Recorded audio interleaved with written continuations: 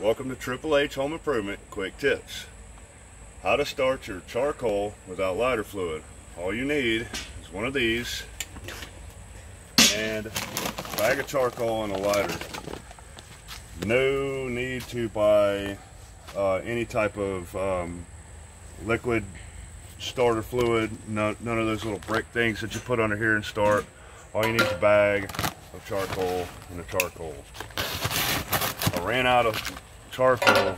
No, I didn't run out of charcoal. I ran out of lighter fluid one day and uh, talked to my neighbor and he gave me one of these and this little this little brick thing and we fill that up with charcoal and you start the fire. Uh, you light the little brick thing and it just, you've probably seen, you probably know what I'm talking about if not. Anyway, put the charcoal in there however much you need. And as, as you use up the charcoal,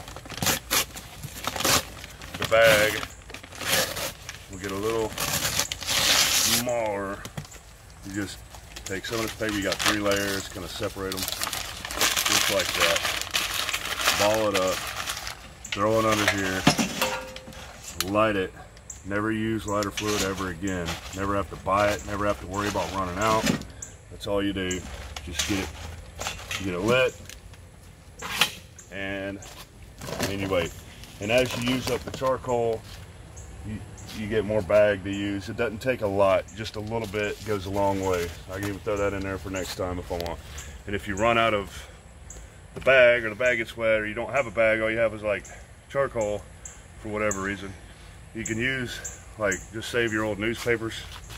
Get a little smuggy. You can save your old newspapers. Um, just don't use the comics because it'll make your food taste a little funny. Anyway, thanks for watching. See you next time.